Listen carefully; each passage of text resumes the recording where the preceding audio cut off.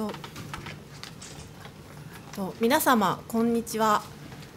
本日ここにこうして海外の文化を背景に持つ皆さ皆様の前でお話しできることを大変光栄に思います。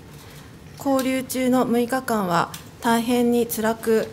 女子留置場の厳しい現状を目の当たりにいたしましたが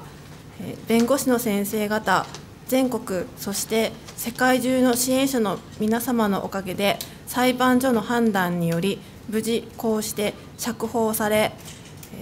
今は大きな喜びと感謝の気持ちを感じています。今回の罪状はわいせつ電磁的記録記録媒体頒布罪ということですが私はそもそも検察警察がクラウドファンディングというシステムを明確に把握していたのかが疑問でなりません。私は自身の助成期の CAD データをクラウドファンディングで募金支援をしてくださった方々に対してお礼の形として送付いたしました。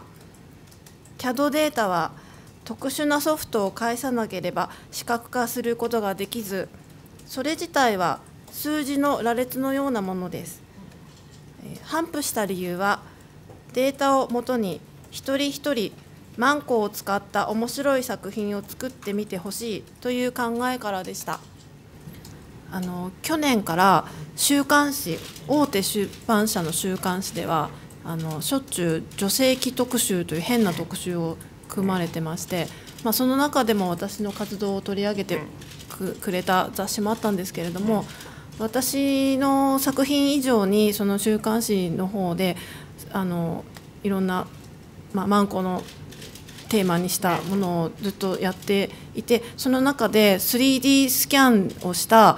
ていう特集もあったんですけれども、なぜか私が逮捕されてしまいました。はい、あの留置場というのはとても人権を無視したひどいところでですねあのまだ犯罪者と確定されたわけではない人もいるのにあの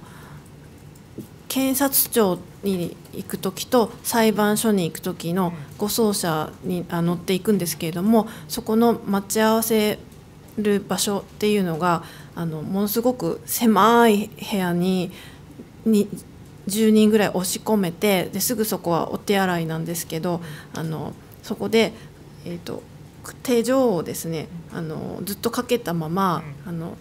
椅子がすごく木の硬い椅子なんですけれどもそこにずっと座っ6時間以上座っていないといけないんですよ。であのご飯を食べる時は検察庁は片手にしてもらえるんですがあの裁判所で待ってる時は手錠つなぎっぱなしであのパンをこうやって食べないといけなかったりあのでその部屋っていうのはあのクーラーがなくて扇風機しかないんですよ。でトレーナーなどを着ていくととても暑いんですが脱ぐと怒られるんですね。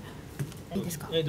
その手錠もすごくあの限界ギリギリまでぎっちりかけられてあの指がしびれて痛いとか言っても我慢しろとか言われてなかなかあの緩めていただけなかった。あと私あの地持ちなんですけれどもあのトイレあの血がちょっと痛いんでボラギノールとかくださいって言ったんですけどそんなものはないと言われあのじゃあ地の人はどうしたらいいんですかって言ったらあの月2回の健康診断の日まで待てと言われたました。えっ、ー、とですねプロジェクトに応募応募じゃないや、えーと、募金を入れてくれたということは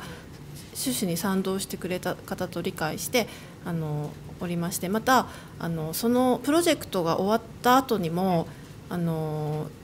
関係ない人たちがあのマンコ見せてみたいな感じであのデータ欲しいみたいなメールも来たんですけれども、まあ、そういうものには一切返しておりません。